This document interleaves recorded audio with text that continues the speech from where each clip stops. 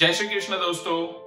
दोस्तों अगर मैं आपसे ये पूछूँ कि आपके लाइफ में कोई क्रश है यू you नो know, कोई लड़की जो आपको बहुत पसंद है या लड़का जो आपको बहुत पसंद है और अगर उस लड़का या उस लड़की को आपके लाइफ में आपको अट्रैक्ट करना हो तो आप क्या करोगे?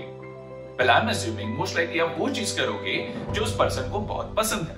In a way you will understand the psychology of that person similarly अगर आप चाहते हो कि आपके लाइफ में वेल्थ एंड मनी अट्रैक्ट हो तो उसके लिए आपको उनकी साइकोलॉजी भी समझनी पड़ेगी यानी कि the psychology of money and दोस्तों आज के वीडियो में हम the psychology of money by Morgan Housel इस बुक की बात करेंगे।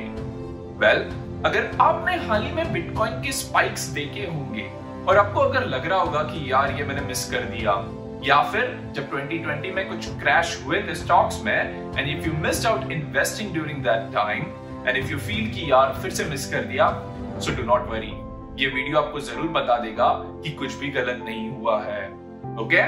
तो चलो, इसका एक बोल्ड स्टेटमेंट देकर मैं इस वीडियो को शुरू करूँगा। Now what is that bold statement well अगर इस बुक को हर्षद मेहता के टाइम पे रिलीज़ किया जाता और अगर वो उस बुक को पढ़ते तो शायद आज वो एक स्कैम के जगह एक लेजेंडरी पर्सन के नाम से जाने जाते इंडिया में।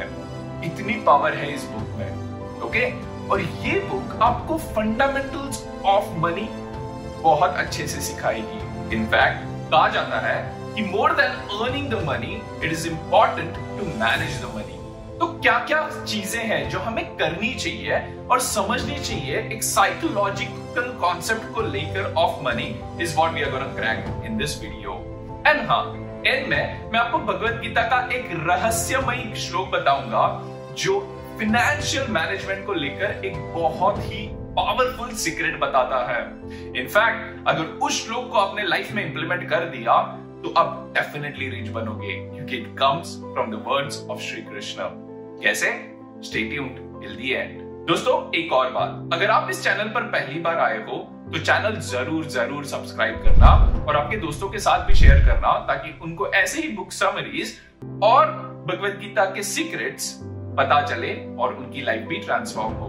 तो चलो, शुरू करते हैं बुक ज्ञान चैनल के साथ। आज के ज्ञान की शुरुआत। Number one no one's crazy author बताते हैं कि किसी भी इंसान की अपब्रिंगिंग बहुत इंपॉर्टेंट रोल प्ले करती है in terms of how does he invest his finance how does he manages his wealth so on and so forth यानी कि अगर कोई इंसान बहुत सारी इन्वेस्टमेंट्स नहीं करता है, बस सेविंग्स करता है, या फिर अगर कोई इंसान day to day stock trading करता है तो इसका मतलब ये नहीं है कि ये अच्छा है और ये बुरा है।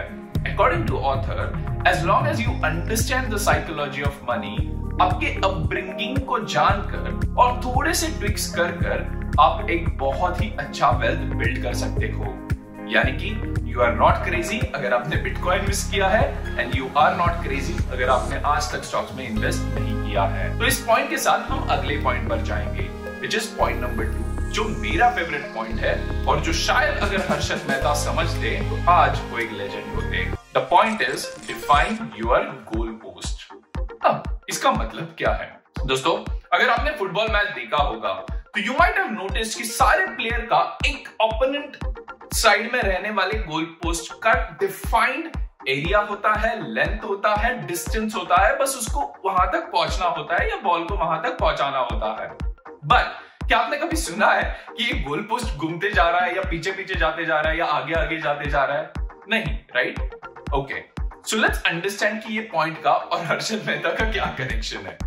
दोस्तों, when you have to have some in life, it is very important to define that goal post.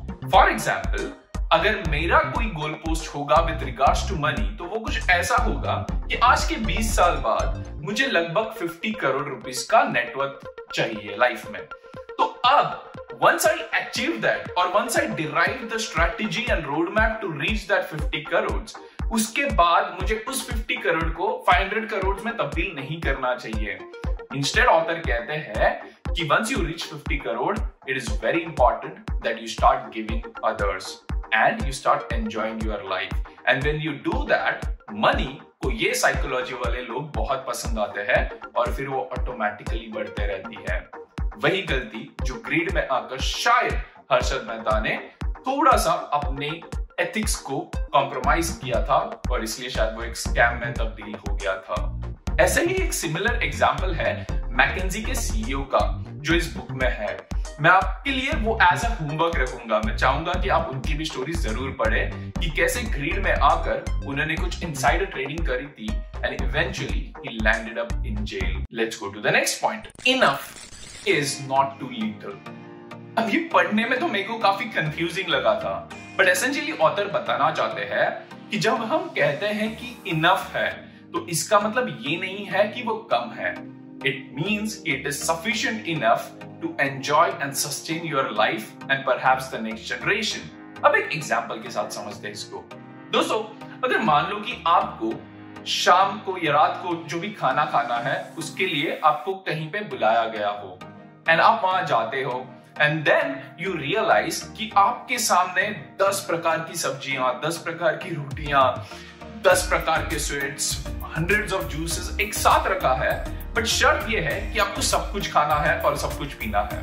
तो मोस्ट लाइकली आप आधे घंटे बाद वोमिटिंग करना शुरू करोगे। Isn't it why does this happen this happens because our body needs certain amount of food which is enough उसके बाद अगर शायद उस फ़ूड को मैं डोनेट करूँ तो उसका मुझे ज़्यादा फ़ायदा होगा। एंड ठीक इसी तरह मनी भी काम करती है। Once you have enough in life it is better that you start donating to others. Okay? Now, ये मत समझना कि ये जो बुक है, वो सिर्फ़ चैरिटी सिखा रही है। ये बुक ये सिखाती है कि मनी की साइकोलॉजी क्या है। मनी किसके पास जाना पसंद करती है?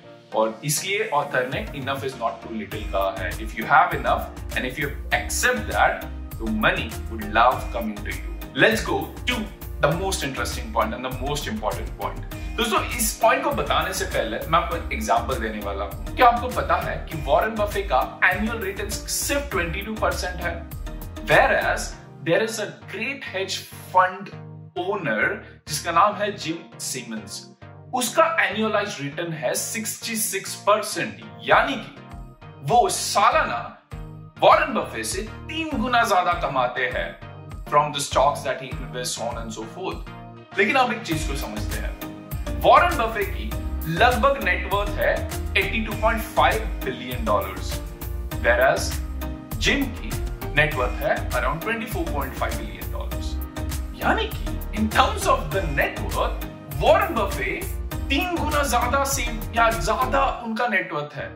वेराज उनका annualised return almost one third है। तो ये कैसे हुआ? What does it that Warren Buffett does जो बाकी कोई नहीं जानता? Well if I tell you the reason is कि वॉरेन बफे has something जो हम सबके पास शायद नहीं था, and that is the power of time. दोस्तों, एक ज़्यादा टाइम के लिए किया हुआ इन्वेस्टमेंट हमेशा आपको ज़्यादा रिटर्न्स देगा because there is the effect of compounding that comes into picture क्या आपको पता है कि वॉरेन बफे लगभग 10 साल की उम्र से इन्वेस्टिंग कर रहे हैं? एंड इसका मतलब ये भी है कि उन्होंने ऑलमोस्ट 70 प्लस इयर्स इन्वेस्टिंग की है स्टॉक्स में। और इसीलिए इतना कंपाउंडिंग होने के बाद आज उनकी नेटवर्क इतनी ज़्यादा है वेर एज बाकी लोगों की ऑलमोस्ट ट्रिपल एनुअलाइज रिटर्न होने के बावजूद भी उतनी इनकम नहीं होती। So if I say it in one sentence Warren Buffett might be a good investor, but he definitely has the skill set of understanding the importance of time in investing. And the importance of compounding and exactly same example के साथ author हमको बताना चाहते हैं कि ये important नहीं है कि क्या आपने अभी बिटकॉइन में इन्वेस्ट करके इमीडिएटली कुछ कमाए, या स्टॉक्स में डाल के कुछ स्पेकुलेशन करके इमीडिएटली कमाए what is more important to be wealthy in life and ensure कि मनी आपको पसंद करे इज़ क्या आपने उस मनी को कंपाउंड होने के लिए टाइम दिया और अगर दिया है तो वो आपको डेफिनेटली एकदम मैग्नम ओपस के फॉर्म में मिलेगा down the line typically it is said that you should always invest your money at for fifteen years and let it compound over the period of time that is when become wealthy anyways दोस्तों, ये वो सारे points हैं जो इस book में है।